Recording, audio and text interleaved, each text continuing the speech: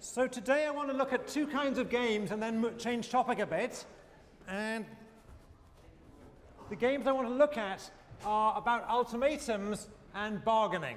And we'll start with ultimatums and we'll move smoothly through. And we'll see why that's an easy transition in a while. All right, so the game we're going to play involves two players. Um, two players. Whoops, one and two. And the game is this. Player one is going to make a take it or leave it offer, take it or leave it offer to player two. And this offer is going to concern uh, a pie. And let's make the pie worth $1 for now. All right, we'll, we'll, we'll probably play this for real in a bit, so we'll play it for $1. All right, so it's a split of a pie. We can think of the split as offering s to player 1 and 1 minus s to player 2. All right, s to player 1 and 1 minus s to player 2. And player 2 has two choices. 2 can accept this offer. And if 2 accepts the offer, then the shares are, then they get exactly the offer. Player 1 gets S, and player 2 gets 1 minus S. All right. Alternatively, player 2 or player 2 can reject. And if player 2 rejects the offer, then both players get 0. Both players get nothing. All right, a very simple game. There's a dollar on the table. I'll take it out in a minute. There's a dollar on the table. All right, and our two players are going to bargain for this, but it isn't much of a bargain. Play, player one's basically going to announce what the division is going to be. Two can either accept that division or no one gets anything. All right? Ever understand the game?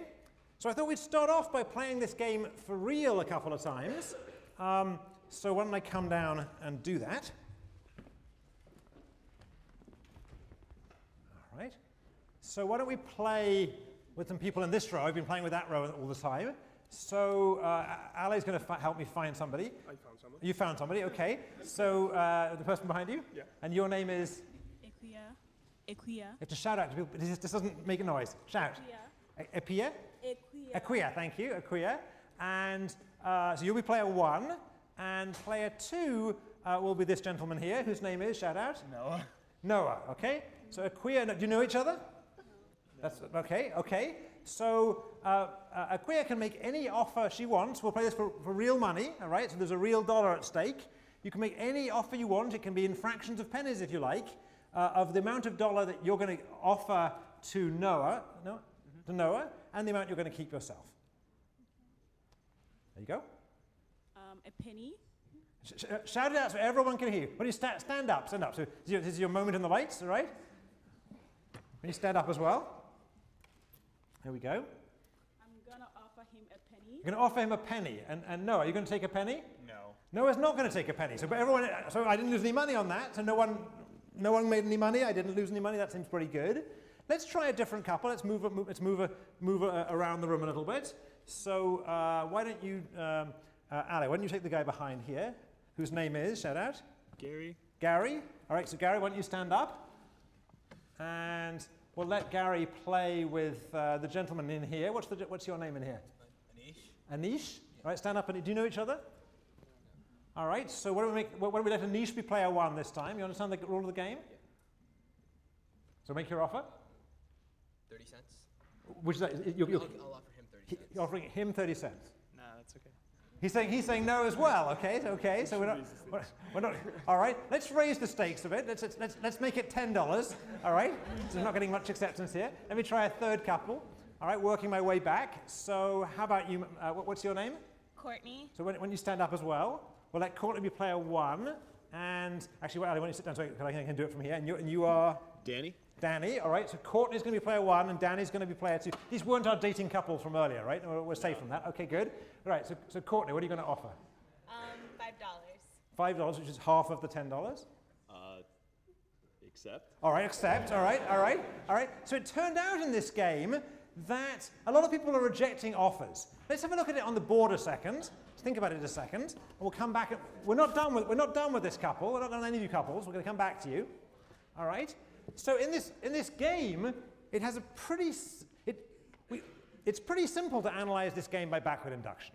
Right? By backward induction, we're going to start with the receiver of the offer, and the receiver of the offer is choosing between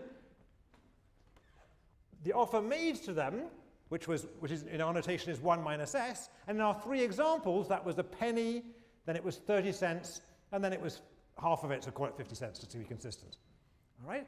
And we actually saw two of those offers rejected, but according to backward induction, assuming that people are trying to maximize their dollar payoffs here, what should we see the, the what, what should we see the receiver do?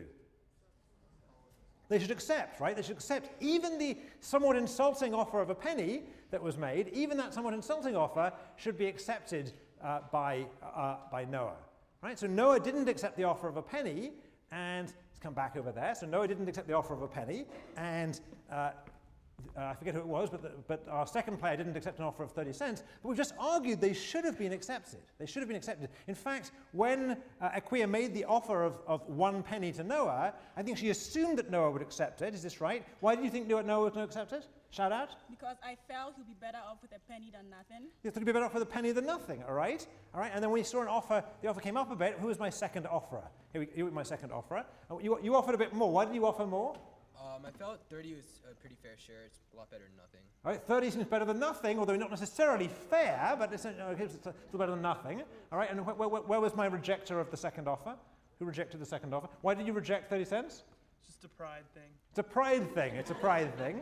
All right, and pretty soon we converged onto, onto 50 cents, which notice is nowhere near backward induction. It's nowhere near backward induction. So the third offer, which is Courtney, is that right? Why did you offer, uh, what was it, half of it? Because half is better for me than nothing. Half is better than you for nothing, and you figured he's going he's gonna reject otherwise. And in fact, he didn't reject. Why didn't you reject?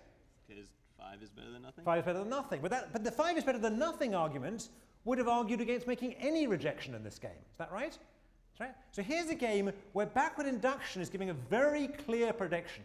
The clear prediction is, first of all, the second player will accept whatever's given to them.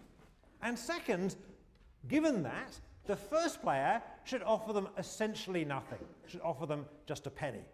Right? So backward induction predicts backward induction predicts that the offer will be essentially, let's say, 99 cents and one cent, or even, or even you know, virtually a dollar and nothing. All right? But in fact, we don't get that. We get a lot of rejection of these low offers, and often we get offers made much, much higher in the vicinity of half. All right? Now, why? Why are we seeing a failure of backward induction in this game? I think this is, a, this is not just you guys, it's a very reliable result uh, in experimental data. All right, so why, why do we see so many people in this ultimatum game both offer more and, more importantly, reject less than uh, a small amount?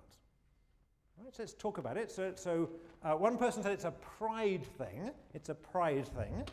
Uh, where was let's, let's, try the other aisle while I'm here. So uh, what's, the, what's the smallest offer you would have accepted? What's your name, first of all? Uh, Jeff. Um, I don't know, a cent. A cent, right? So there are some backward induction players in the room. All right?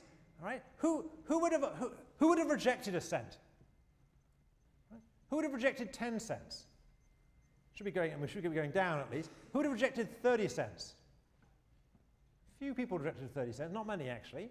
All right? How many people would have rejected 50 cents? One person even would have rejected 50 cents, right? But, but essentially no one, okay. okay. So what's, what's happening here? Why, why do people think people are rejecting what is essentially money from my pocket, right? There's nothing going on here. I'm just giving you money. Why are they rejecting being given money? Like overall, the stakes are really low. So if you have any value on sort of like pride, what people said, you know, it's it's not worth a penny or All right. cents. All right, so it may be pride going on here. So certainly one thing is about pride. It turns out that people do this even in quite high stakes games, but you're right, certainly that trade-off is going to start to bite. All right, what else is going on? So I agree, pride is part of what's going on. What else is going on here? Let's try and get some conversation going. There's somebody in here. I can get the mic in. Shout out your name and really shout. Peter, Yeah, go on. uh, change is cumbersome. Change is cumbersome. Okay, you didn't want the change. Okay, fair enough, fair enough. But if the stakes go up, that would get rid of that. Yeah. Um, maybe people are tying their own outcomes to the other player's outcomes as well. Right, so maybe people have different payoffs here. Maybe people, people are comparing their payoff to the other person's payoff. That certainly seems like a plausible thing to be going on here. You might feel uh, less happy about getting 20 cents knowing the other person's getting 80 cents, for example. You might be trying to teach them a lesson to get them to offer more. Right, you might be trying to set a sort of moral standard here. All right, so there's some notions of indignation or even teaching people that they really should offer people more. All right, what else could be going on here? Yeah. If people know I'm not going to accept less than 50 cents, then they should give me 50 cents by backward induction. Right, so, so part of what's going on here, actually this game was a one-shot game, right? We just played it once, and we could have played it, in fact they often do play this, this this way in the lab, you could have played it without anybody knowing who the other player was, all right? But particularly in this setting where everyone can see everyone else, and even in the lab where people uh, actually can't see people, but they might imagine that the game is really repeated, you could imagine people trying to establish a reputation. Is that right? So there's lots of these reasons. There's sort of moral indignation reasons or teaching a lesson reasons, pride reasons. There's also this basic reason that people might be thinking this game is, I, I should play this game as I would a similar situation in life where I might want to be establishing reputation. All right? So there's a certain amount of confusion going on in the game, but there's also a certain amount of, of, of a lot of things make sense. Now notice that once we've established that people are going to reject small offers in this game, once we've established people are going to reject small offers, it makes perfectly good sense to offer a lot more than, than, than nothing. All right? So it's, not that surprising that once we've established the idea that people are going to reject small offers, you're going to see people uh, making offers that are reasonably large, although not usually larger than 50 cents. Why is 50 cents so focal here? Why is 50 cents so focal? It's not a trick question, I'm just asking, why do people think 50 cents is so focal? You know, I think it's typical that people end up offering around 50 cents. Why? It sounds fair, right? It seems fair. There's some notion of fairness. It's not clear, by the way, what ethical principle is involved here, right? It's not clear that if you're walking along the street and you happen to find a dollar at your feet, that you should pick it up and anyone else you happen to see at that moment, you should give 50 cents to. Right? That's essentially what the situation is. And you, you just chanced upon this dollar that I just gave you. It isn't clear that there's any particularly great moral claim to give it to someone else, but I think people read this as a situation about splitting a, splitting a cake, cake in an environment of, of distributional justice. They view it as a larger picture. Is that right? So it turns out there's a large literature on this. There's a large experimental literature on the ultimatum game, and there's an even larger literature on an even simpler game in which I give people a dollar, I say you can give whatever share you want to the other person, and they don't even get a chance to accept or reject. Right? That's called the dictator game. Right? In the dictator game, literally, you're just simply given a dollar and you can give whatever share you want to the other person. Right? It turns out even in the dictator game, people give quite a lot of money. Right? That suggests that there really is some notion of fairness or some notion of, of distributional justice going on in people's heads here, rightly or wrongly. All right? So one thing this should tell us is even in extremely simple games, extremely simple games, we should be a little bit careful about reading backward induction into what's going to happen in the real world. Part of this is because, as we mentioned the very first day of the class, people care about other things than just the obvious payoffs, and part of it is about more complicated things like reputation and so on. All right, having said that, let's nevertheless, for the, for the purpose of, of today, uh, act as if we are going to do backward induction, and let's embed this into a slightly more complicated game. All right, so the more complicated game is as follows.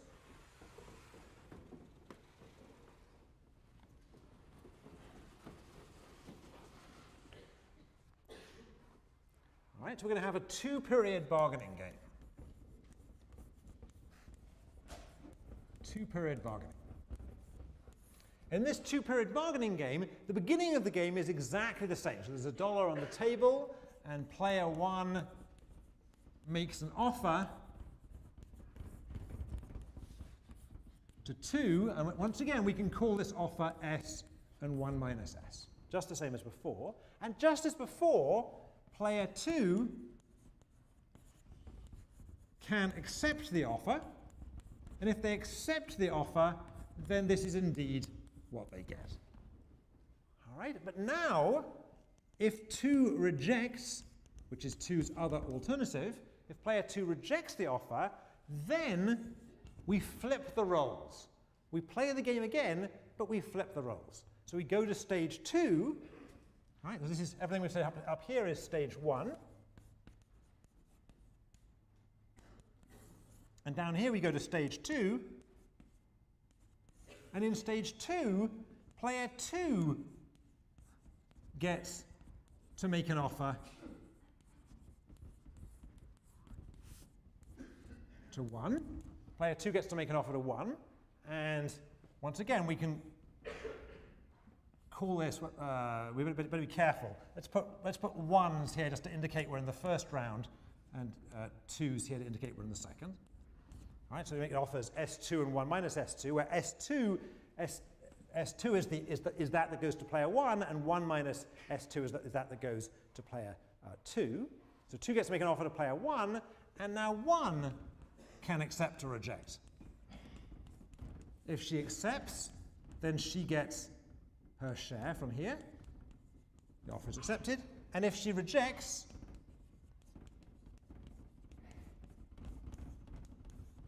then we get nothing.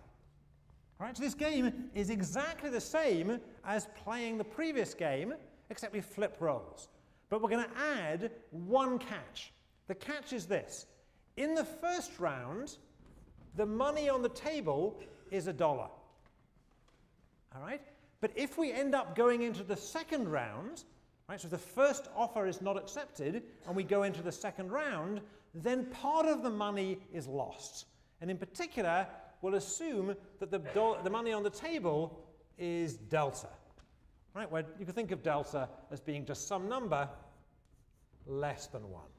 Right, so if you want a concrete example, think of this as being 90 cents.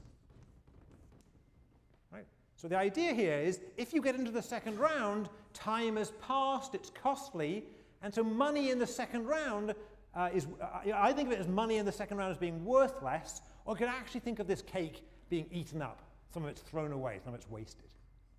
All right, everyone understand the game? All right, this is very similar to the previous game, but we've got this second stage coming in, and we've got discounting. So this is the idea of discounting. How many of you have heard the term discounting before? All right. So you, you, probably saw it in a finance class or a macro class where we think about there being a value of money, uh, sorry, value of time. That money today is worth more than money tomorrow, partly because you could put the money today into the bank and it could earn interest, partly because you're simply impatient to get that money and go and have lunch, particularly on the day in which the clock's changed. All right?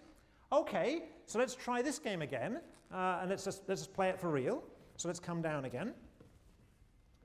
Everyone understand the game? Basically the same rules with this flipping around and with the possibility that the cake may shrink. Let's see what people have learned. So who are our first pair? Our first pair were Aquia and who was Aquia's? And Noah, all right? So uh, Aquia, what, what, uh, what are you going to offer? You're player one here, all right? But if your offer is rejected, Noah's going to get to make an offer to you. All right, so what are you going to offer this time? Forty-five ninety-nine. Uh, uh, so forty-five cents. Yeah, forty-five cents. For, 40, 46. 46. 46. Okay, so he, he gets 46 if he accepts the offer. Is that right? Yeah. 40, 46 if he accepts the offer. All right. accept that. He accepts that. Okay, that was easy. That was easy. So that was so. He, so Aquia got uh, got 54 cents, and uh, Noah got uh, 46 cents. All right. Who was our second pair? was our second pair. So that was, uh, I forgot, an, uh, Anish, right? And, uh, Gary. and Gary, all right. So Anish, what are you going to offer this time? I'll offer 43. 43. You were going to push the envelope a little bit. All right. All right, that one got accepted as well. Okay, so people are, people are converging here. All right, and what about our third off, uh, offer receiver? It was Courtney and Danny. And Danny. So Courtney. 30. 30. Uh, so it's 30 for him. Uh, I'll accept. Oh, three acceptances, all right? all right? Let's find out something here. So I was hoping to, to get into the second round. So supposing, uh, okay, so you accepted, that's fine, that's fine.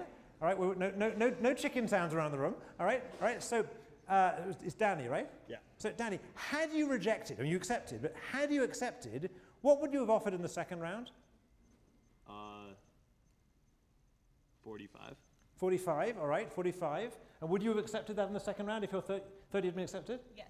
Yeah, so you, okay, so you might have been, you might have done better. It turns out. All right, right. Let's go back through the, see the other rejections. So the uh, so the other acceptances. So uh, my second couple, you offered 43. Is that right? Right. And you said yes to 43. Is that right? Had you rejected 43, what would you have offered back in return? 43. 43. The same thing back. Would would you would you have accepted it? Uh, he gets 47. He'd have got 47 in that case. Uh, yeah, I take it. You'd, you'd accepted that. Okay. Okay.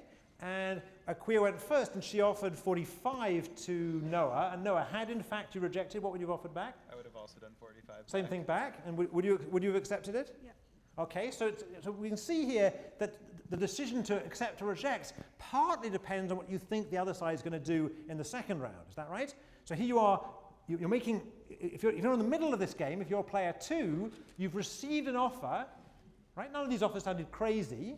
Mean, 30 cents was the lowest one, but none of them sounded crazy. And you're trying to decide whether you should accept or reject this offer. And one thing you should have in mind is, what would I offer if, it, if I reject? And will that offer that I then offer in the next round be accepted or rejected? Is that right? Right. And so if we just work backwards, we can see what you should offer in the first round should be just enough to make sure it's accepted, knowing that the person who's, who's receiving the offer in the first round is going to think about the offer they're going to make in the second round and going to think about whether you're going to accept or reject in the second round. Is that right? Right? So that sounds like a bit of a mouthful, but that mouthful of reasoning is exactly backward induction.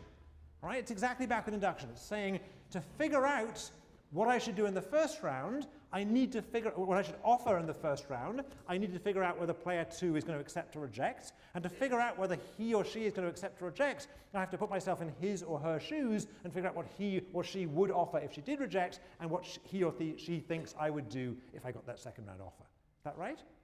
All right. So let's try and analyze this as if backward induction was going to work here, as if we didn't have to worry about things like pride here. All right. So this is the game we're actually playing, so let's, let's keep that one.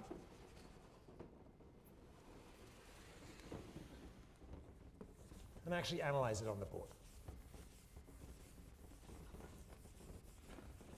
I want to walk us from a relatively mundane game of take it or leave it offers to a more complicated game in which there can be several rounds of offers. But we're going to go slowly, so we'll start this with two rounds. All right?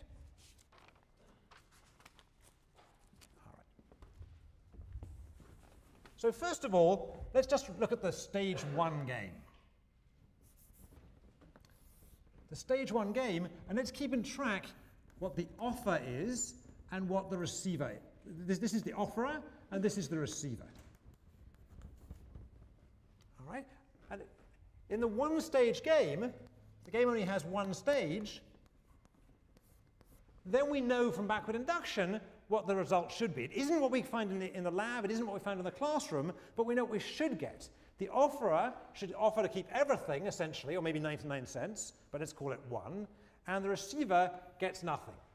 All right, so again, I'm approximating a little bit because it could be 99 cents and a penny, but who cares? Let's just call it a dollar and nothing if it's a one-stage game. All right, so now let's consider a two-stage game.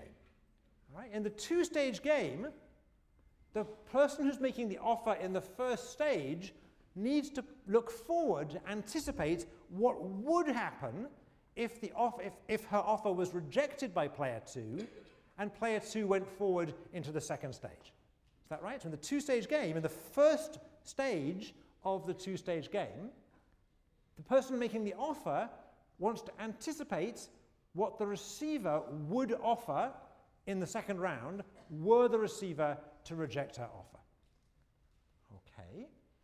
But we can, we can do that by backward induction.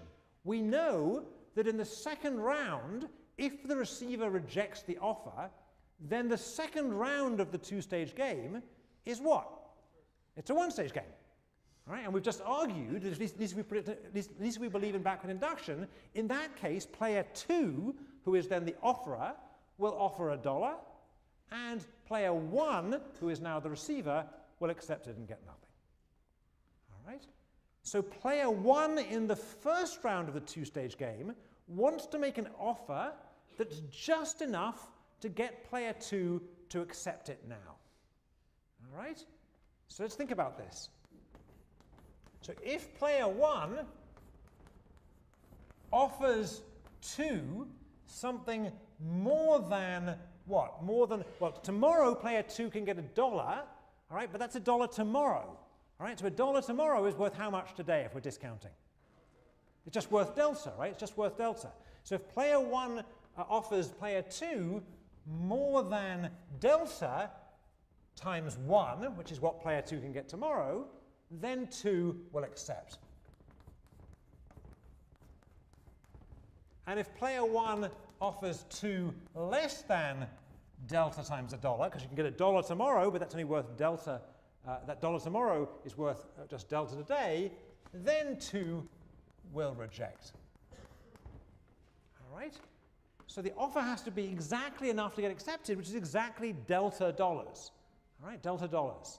All right, so player two knows that she can get, let's put it in pink, player two knows she can get a dollar tomorrow, so you need to offer her at least delta today to make it as good for her as getting a dollar tomorrow.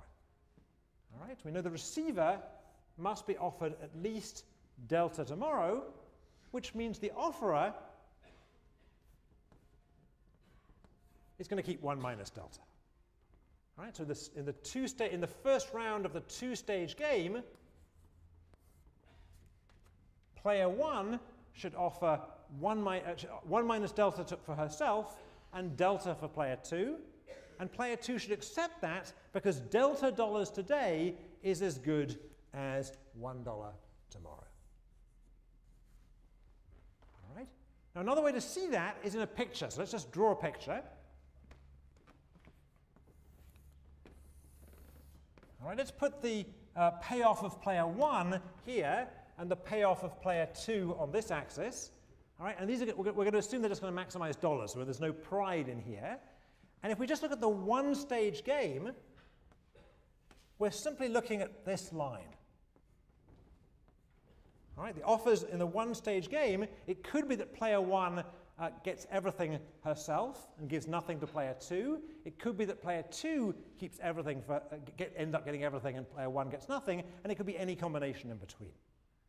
Right? And we argued by backward induction, although not in reality, in backward induction, in the real, uh, in backward induction, in the one-stage game, player one uh, uh, uh, makes an offer to player two, which is kind of an insulting offer. Player one says, I get everything and you get a penny. All right, so this is the one-stage game.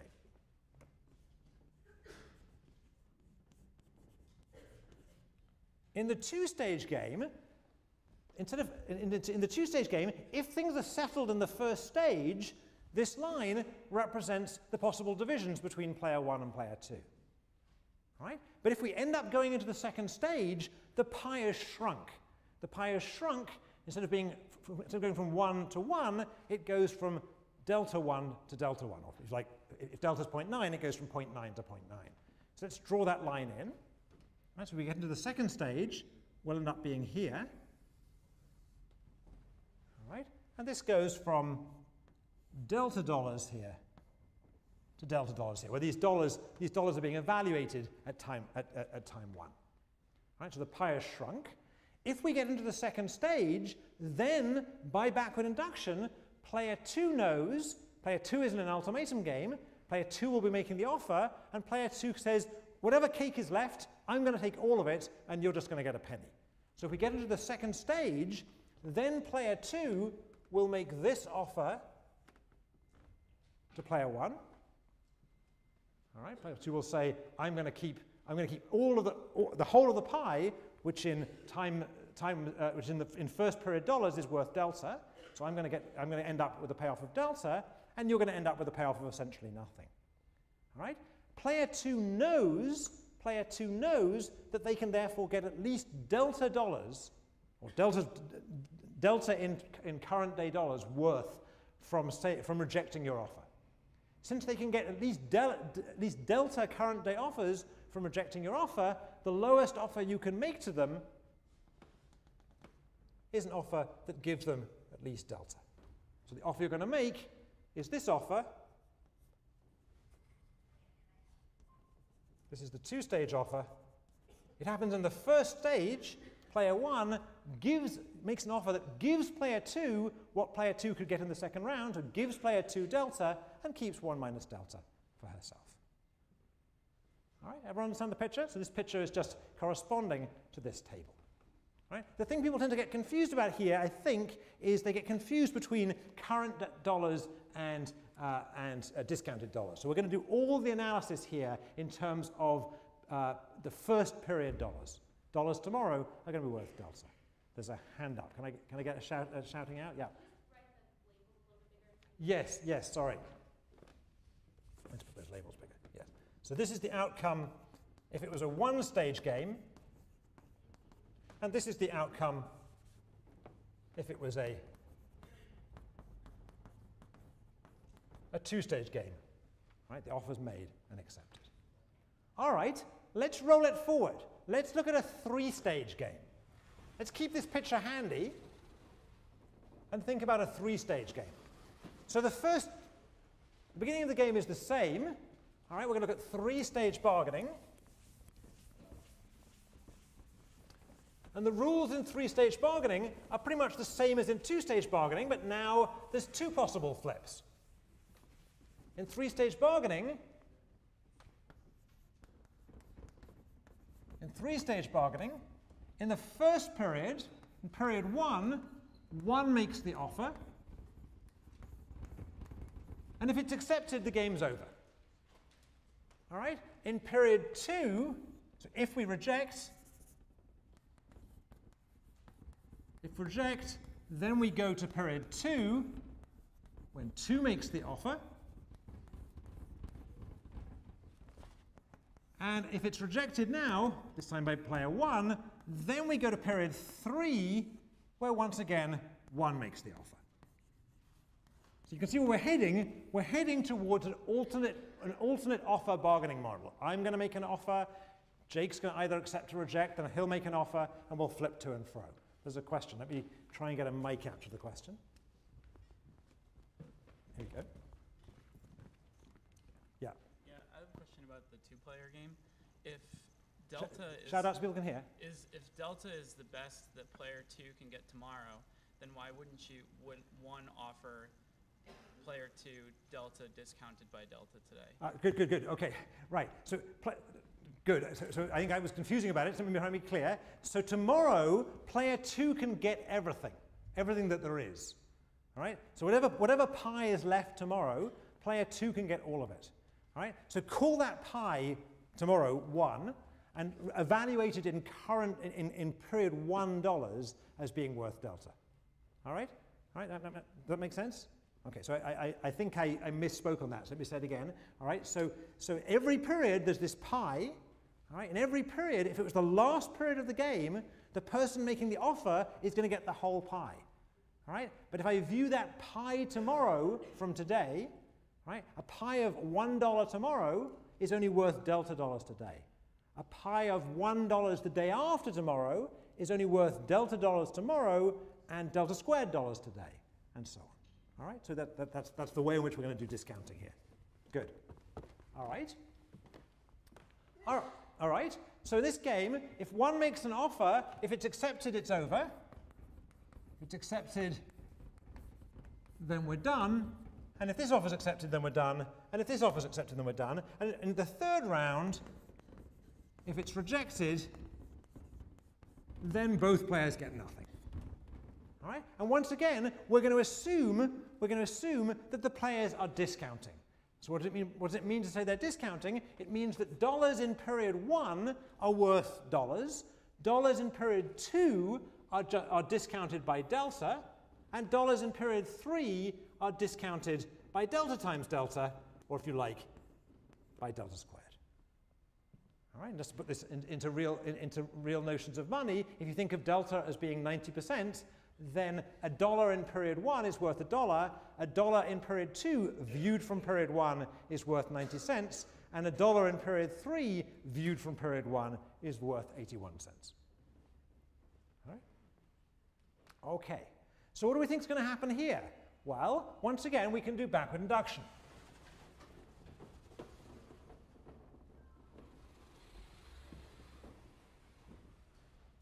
Here we are in our picture.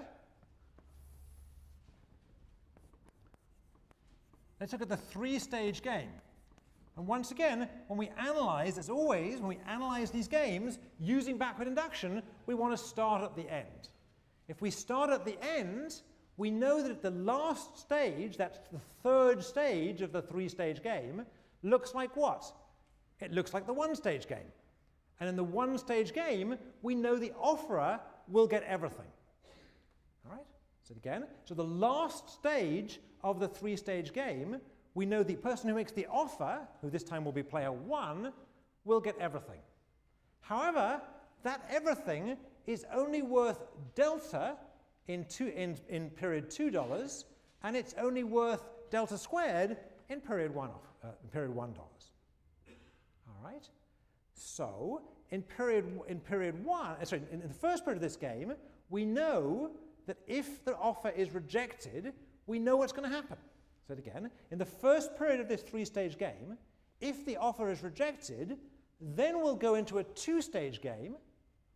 Right? We'll go to a two-stage game, and we already know what happens in a two-stage game. In a two-stage game, the person who gets to make an offer gets 1 minus delta, and the person who receives the offer gets delta. All right?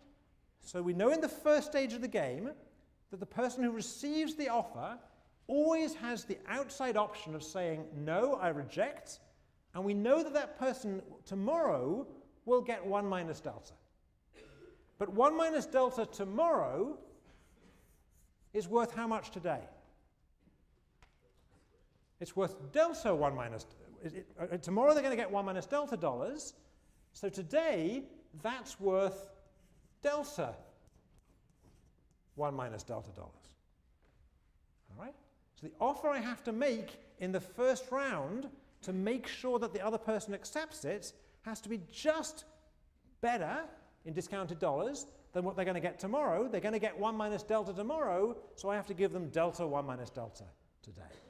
All right, which means I keep for myself 1 minus delta 1 minus delta. And if you don't like the algebra, let's look at the picture. In the picture, in the one-stage game, this is the offer. In the two-stage game, we know if we get into the second round, player two gets everything, right? So we have to give him that much today. And if we get into the third round, now we're looking at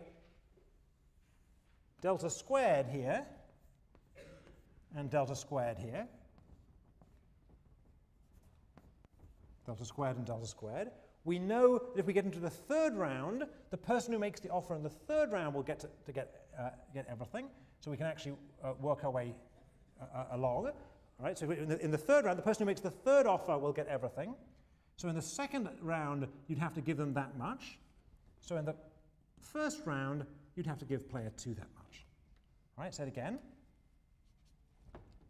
In period three, the person making the offer can get, get everything. All right? So in period two, they must be getting uh, delta times that. So in period one, you have to give them at least this much. Right? And this here is the offer you'd make in the three-stage game. All right? So in the picture, it, we're just going, doing a little zigzag on the, uh, on the, on the uh, chart. We're also always working across the diagonal. All right, so we've done the, we've done the one-stage game. The one-stage game, the person making the offer gets everything. In the two-stage game, the person making the offer offers just, much, just enough to get the offer accepted, which is delta, because that's what, that's what a dollar's worth tomorrow. In the three-stage game, the person making the offer makes just enough to get the offer accepted, which is delta times what the receiver would get tomorrow. What they get tomorrow is 1 minus delta, so they get delta 1 minus delta today. All right? How about the four-stage game? Let's see if we can do that. So if we go to the four-stage game now, in the four-stage game, if the person receiving the offer rejects the offer, then tomorrow they can get 1 minus delta, 1 minus delta. So I need to offer them enough now in current dollars so that so they, so they will prefer that to getting 1 minus delta, 1 minus delta tomorrow. So how much must I offer them? I have to offer them at least delta times that much. So I have to offer them delta times 1 minus delta times 1 minus delta, like this. Right, and again, I have to keep the rest, I'll, I'll keep the rest for myself, so I'll get 1 minus delta, 1 minus delta, 1 minus delta. All right? And so the principle is always give people just enough today so they'll accept the offer, and just enough today is whatever they'd get tomorrow discounted by delta. All right?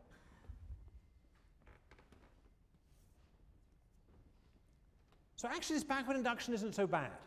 All right? What makes it a little bit easier is you don't actually, when, when, you go through an extra stage of this, you don't actually have to go all the way to the beginning. You can actually start where you were last time and just discount once more by delta. All right? Now let's, a, let's see if we can see any kind of pattern emerging in this algebra. All right, so let's just multiply out these brackets. In the, in the four-stage game, this thing is actually equal to, just multiplying through, it's 1 minus delta plus delta squared uh, minus delta cubed. Hope it is anyway. That's what this is. And this thing is equal to delta, delta minus delta squared uh, plus delta cubed. All right, just multiplying out the brackets. All right. Does anyone see a pattern emerging here in these offers? We had offers of 1 and then 1 minus delta. We could also multiply out this one. It might be helpful to do so. This is actually 1 minus delta plus, uh, uh, this is 1 minus delta uh, plus delta squared. All right. Anyone see a pattern? What these offers look like? They kind of alternate, right? So let's, let's uh, Let's have a look what the, rather than do every stage,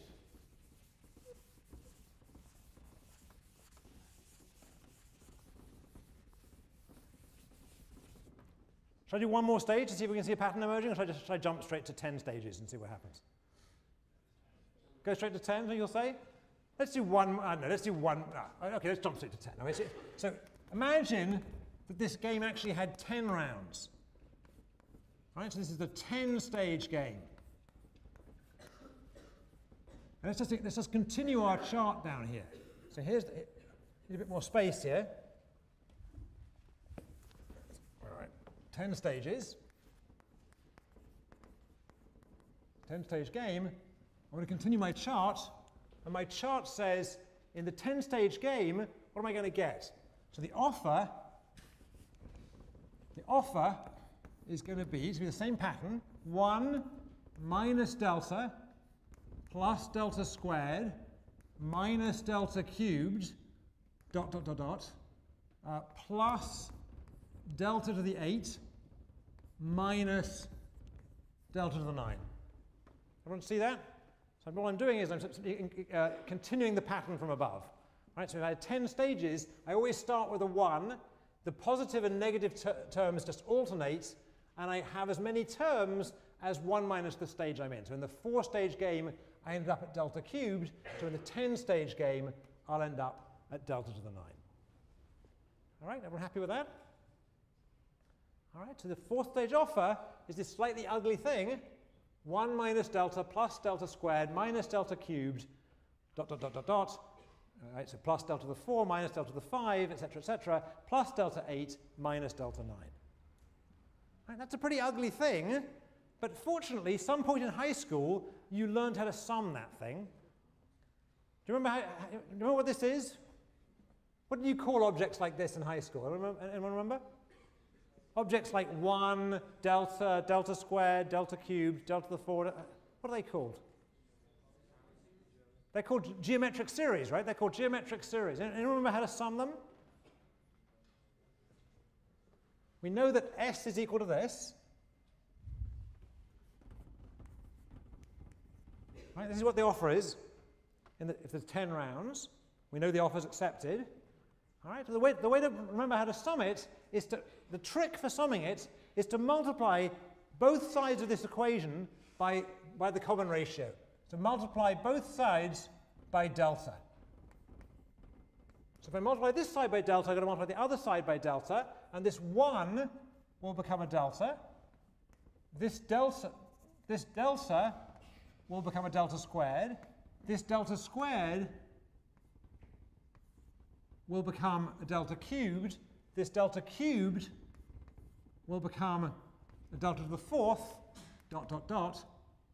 There'll be a minus delta to the 8 coming from the seventh term. There'll be a plus delta to the 9 coming from the delta eighth term. And there'll be a minus delta to the 10th. Right, everyone okay with that? I just multiplied everything through by delta, and I just shifted the long one for convenience. What do I do now? Anyone remember? Add the two lines together. Let's add the two lines together. All right, so by summing, on this side, I get 1 plus delta S10.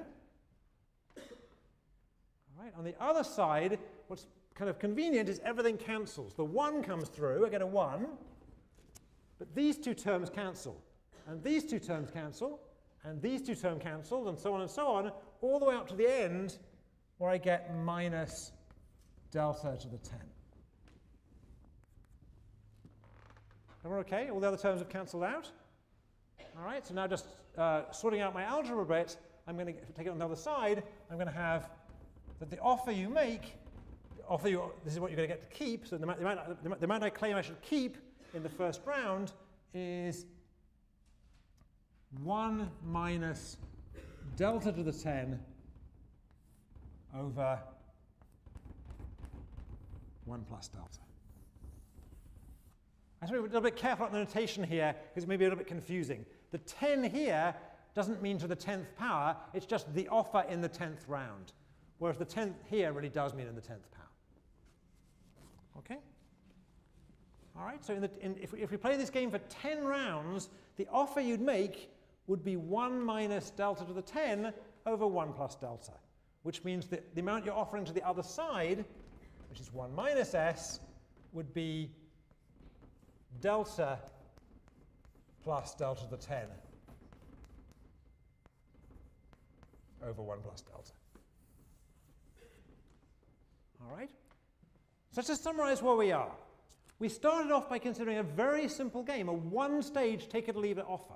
We know that in that take it or leave it offer, player one is going to claim everything for herself and offer nothing to player two. Then we considered a two-stage game, which was the same as the one-stage game, except that if player two rejects the offer, he, let's call player two he, he gets to make an offer to player one in the second period. We know that in the second period of that two-stage game, player two can keep everything for himself. Everything for himself tomorrow is worth delta today. So you have to offer him at least delta today and keep 1 minus delta for yourself. Then we looked at a three-stage game. In this three-stage game, if player 2 rejects in the first round, player 2 can make you an offer in the second round, but now if you're player 1 and you reject in the second round, you get to make an offer to player 2 in the third round. We argued that in the second round of this game, the person, if player two rejects you in the first round and makes an offer in the second round, it'll be in a two-stage game, and they'll be able to keep 1 minus delta of the pie for themselves. So you have to offer them at least delta times 1 minus delta today for them to accept the offer, keeping the rest for yourself.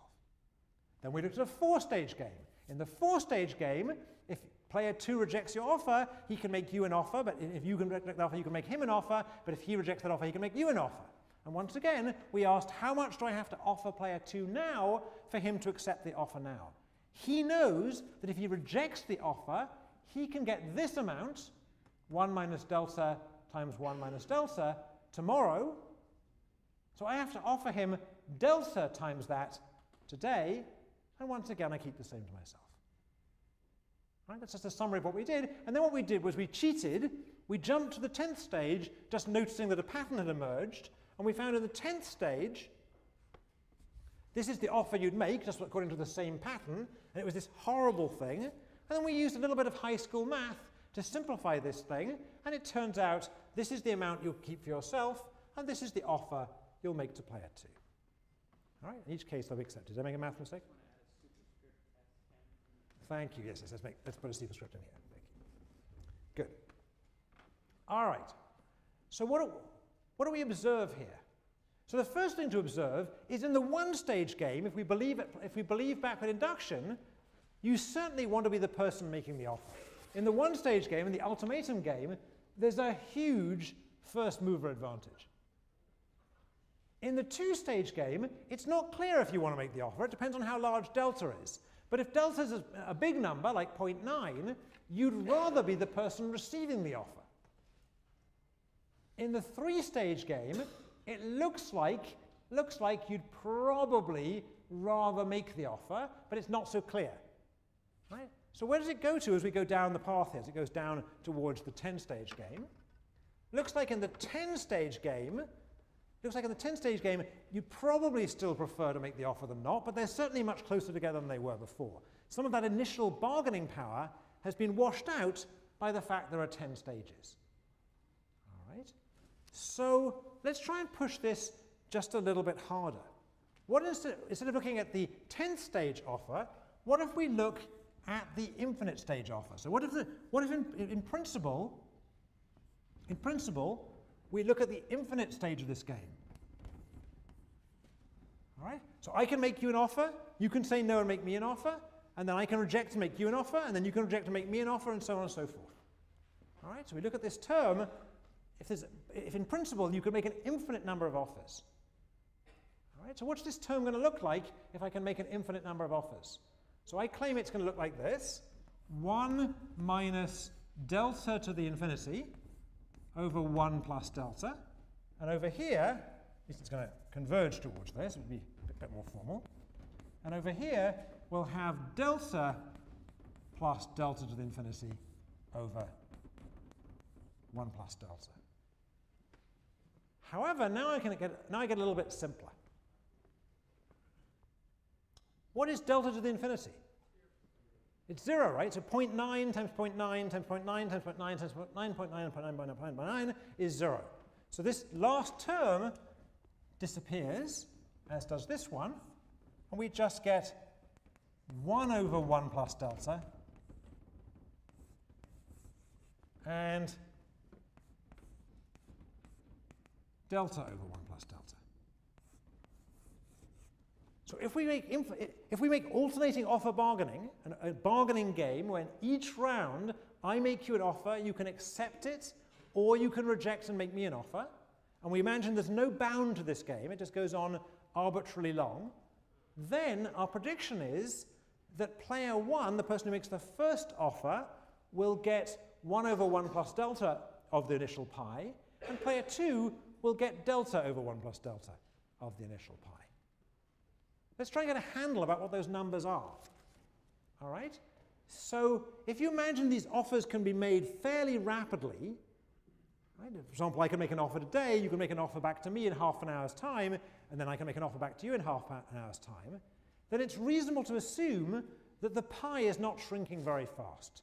Right? The, the discount factor is not a big deal here. All right, so if these offers can be made in rapid succession, then we might think that delta itself is approximately 1. The pie isn't shrinking very fast. If delta is approximately 1, right, if we take delta to 1 here, right, we that, the, that time isn't that valuable given how rapidly we can make offers to and fro, then what does this make this, this equal? In the case where delta is equal to 1, what do we get? we get a half, which means this will also be a half. So we learn something from this, which is kind of surprising.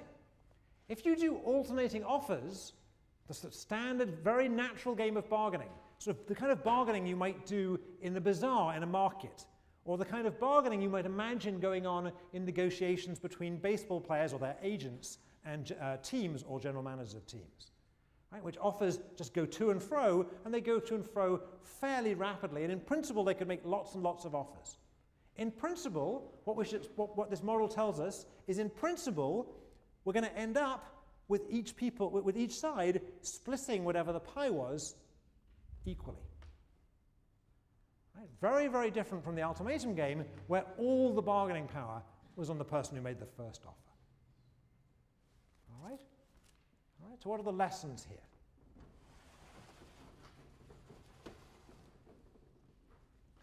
What can we conclude from this?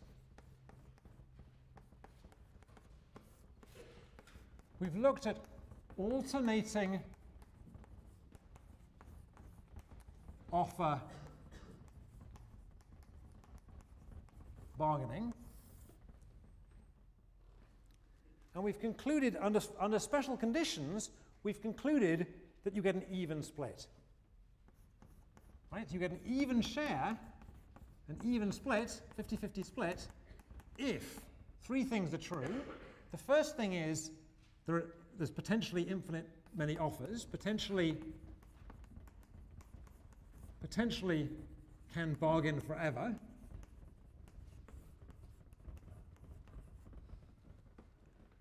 And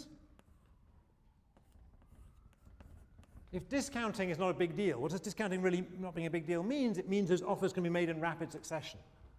All right, so no discounting.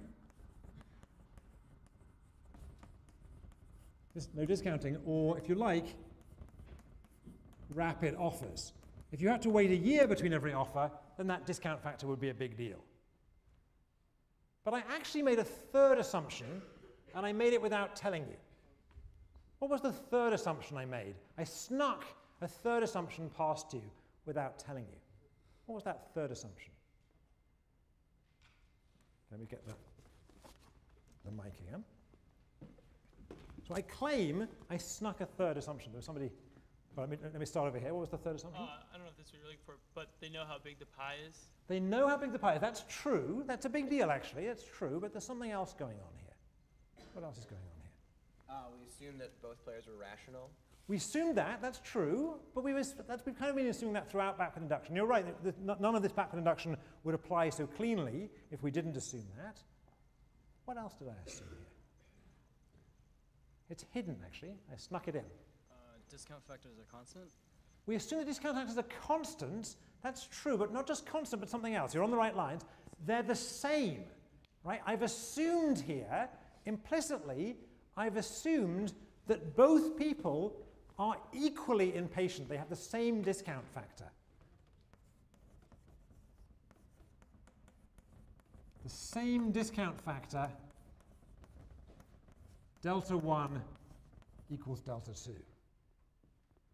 Why does that matter? Well, let's just think about it intuitively a second. Suppose that one of these players is very, very impatient. They need the money now. If it's cake, they need the cake now. They're very impatient. And the other person is very patient. Right? They can wait forever to get this bargain to come across. Right? Who do you think is going to do better, the patient player or the impatient player? The patient player is going to do better. Right? The patient player is going to do better. Uh, the, the, the way we ended up, the way we did all this analysis is we assumed that those discount factors were the same. We assumed that each person was discounting time at the same rate, perhaps because they were facing the same bank with the same interest rate. But in practice, often one side is going to be in a hurry to get the dispute resolved, and the other side can sit around forever. Right? And in that world, the side who can sit around forever is going to do much better.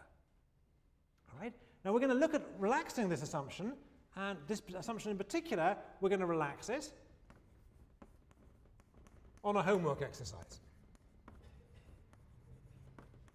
All right, so in your homework exercise, you're going to try redoing part of this analysis, good practice anyway, but doing it in a setting where the, where the discount factors are different. All right. So one thing we learned here was, yes, you get an even split, but it depends, it depends on these three assumptions. All right? And it's kind of important because when you, when you think about bargaining, I think a lot of people simply assume intuitively that whatever the bargain is about, people will eventually split on the middle. When you're bargaining about a house and what price you're going to pay for a house, all these things, you kind of implicitly have this assumption that you're going to end up splitting the difference. What I'm arguing here is you will split the difference in this natural bargaining game, but only under very special assumptions. And in particular, the assumption of patience is crucial. All right? All right. There's another remarkable thing here, though. It's also hidden. So not only do we end up with an even split, but something else remarkable happened in this bargaining game. What was the other thing, somewhat amazingly, un very unrealistic thing that occurred in this bargaining game? See if we can spot it. So one thing was an assumption I made, and the other is actually a prediction. Yeah. So the first offer will be the offer that's accepted. Good. Good. Everyone see that? So in this bargaining game, I set it up as alternating offer bargaining. So the image you had in your mind was of haggling. I made an offer. You guys thought about this offer. Shall I take this offer? maybe I won't take this offer. You make me an offer back to me, and we kind of haggled to and fro. But actually, in the equilibrium of the game, none of that happened. That all happened in our minds. We thought about what offer we would make, and we thought about what offer you would make back to me if I made you this offer and you rejected it, and so on. We did this backward induction exercise, but it was all in our heads. Right? In this, in this game, the actual prediction is the very first offer is accepted. Very first offer is accepted. There's no haggling. There's no bargaining. All right? Now that doesn't seem very realistic. Right? There's no haggling.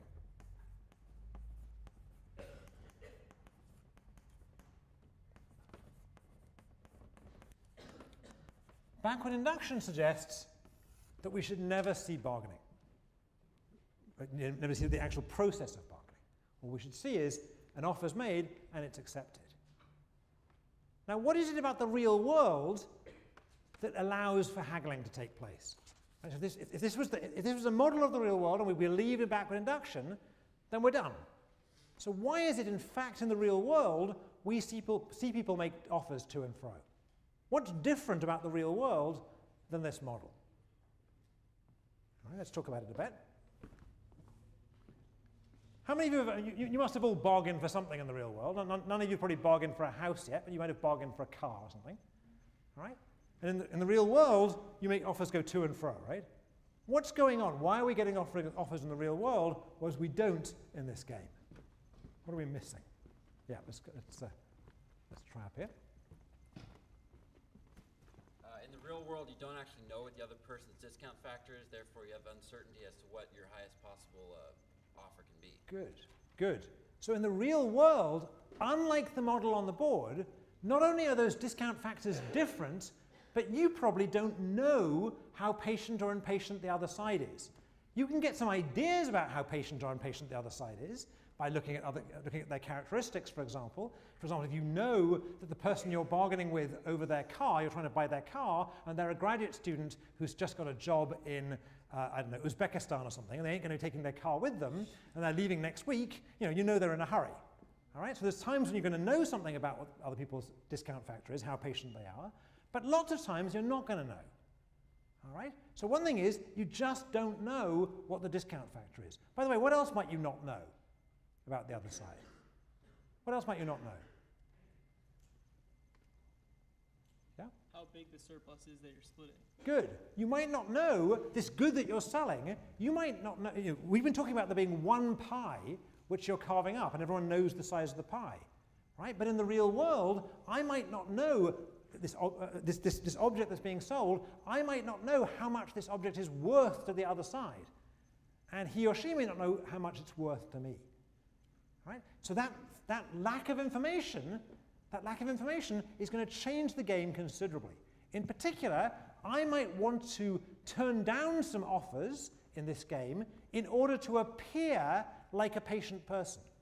Or I might want to turn down some offers in the game in order to appear like somebody who doesn't really value this all very much. All right? And in so doing, I'm going to try and get you to make me a better offer. Right? So what's going on in haggling and bargaining, bargaining, according to this model, what's missing in this model is the idea that you don't know who it is you're bargaining with. You don't know how much they value the objects in question. You don't know how impatient they are to get away with the cash. All right? So it's a big assumption here, very big assumption, is that everything is known.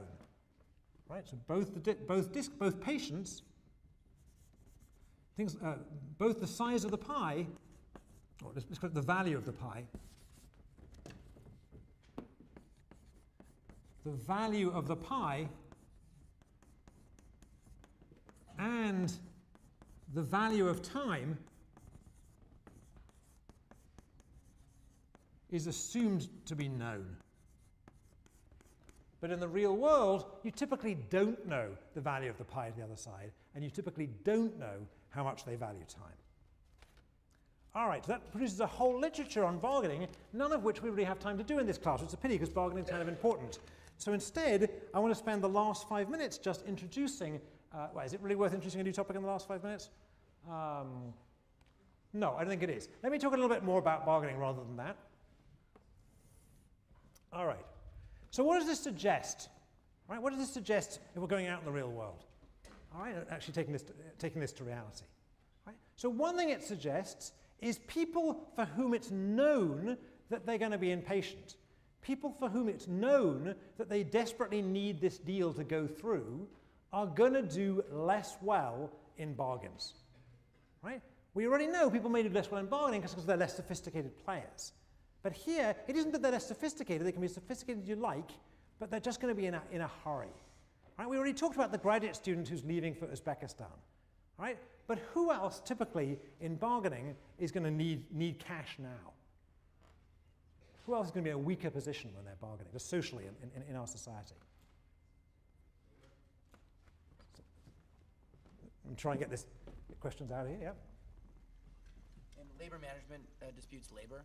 So that's a good question, right? It's a good question in labor management disputes. There's one going on right now in Hollywood. It's not clear there, right? Could be. It could be the it could be the management side who's in a hurry because they just need right now to get uh, you know, um, David Edelman uh, David David Edelman's script written, right? That would that would tend to favour labor. But it could be the labor side. Why might it be the labor side? So, uh, did everyone know this? There's, there's, there's a writers' strike going on in Hollywood right now. All right, so the people on the management side who are in the weakest position are the people who are in the most hurry to get this resolved, and those are guys with the fewest scripts in the pipeline, and that tends to be late night TV shows. So those guys really want this thing settled fast. They're in a weak bargaining position. On the other hand, there may be a reason why Labour's in a weak bargaining position. Why might Labour be in a weak bargaining position relative to management? They have rents to pay. Right, they have rents to pay. They, they have immediate demands on their cash. Right? T the typical worker is typically poorer than your typical manager, not always, but typically. All right, and they just have to they have to pay the rent. They have to feed they have to feed their children. All right. So there's a more general idea there. More generally in bargaining, the people who are poorer typically, will have this isn't just poor in terms of income; it's poor in terms of wealth. Are going to have are going to be more impatient to get things resolved, and that's going to put them in a weaker bargaining position. In a second. So in bilateral bargaining, right, having low wealth and being known to have low wealth puts you in a weaker position. And that means that typically people who are poorer are going to do less well, although the late night TV show may be an exception. All right? All right? Makes you think a little bit about whether uh, just setting up a bargaining position makes things equal for everybody. Any other thoughts about who has strength and who has weakness in bargaining? What other, what other kind of stunts do we see people do in bargaining? What else is kind of missing here that we need to think about if we're, if we're you know, what we want to do in this class is develop these ideas and take them to the real world. So what other real world, real world things here are kind of missing? Yeah. Usually people will make their first offer a lot higher than what they're actually willing to accept. Right, so typically, typically you're right, typically people come, the, the, typically bargaining isn't just a series of random numbers. Typically people start out high and then they concede towards the middle. Is that right? So if, if, if, I'm the buyer, I start out with a low price and come up, and if you're the seller, you start off with a high price and come down. All right? So again, that seems to be about uh, establishing reputation and trying to indicate how much I want this good. All right? There's a, uh, something worth saying here, which we haven't got time to do in this class, and I hope you'll have time to take if you take the follow-up class 156. We can actually show formally that in a setting in which buyers and sellers are bargaining, and buyers and sellers do not know how much the, the, good is worth to the buyer or how much it costs to the seller, typically you cannot expect to get efficiency. I'm going to say that again. Right? So it's kind of an important economic fact that that's missing from 115 and unfortunately missing from this class. But if we go to a more real world setting in which people's values are not known, not only are the offers not accepted immediately, and not only is there some inequity in that the poor tend to be more impatient and do less well, but also you get, you get bad inefficiency. And the inefficiency occurs essentially because the sellers want to seem like they're hard and the, and the buyers want to seem like they're hard, and you get a failure, to, you, you get a failure for, for deals to be made. All right, so some deals are actually going to be lost or take a long time in coming. You're going to get some strikes before the deals occur, and that's all inefficient. All right, so bargaining, not in this model, but in the real world, tends to lead to inefficiency. So I'll leave it there. We'll have an early-ish lunch since we're all starving because of the clock change anyway.